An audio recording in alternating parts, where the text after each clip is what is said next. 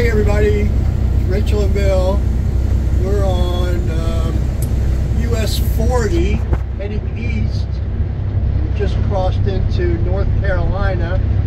We're headed today for Charlotte. And we're driving through the mountains here and just wanted to share with everybody how totally beautiful it is.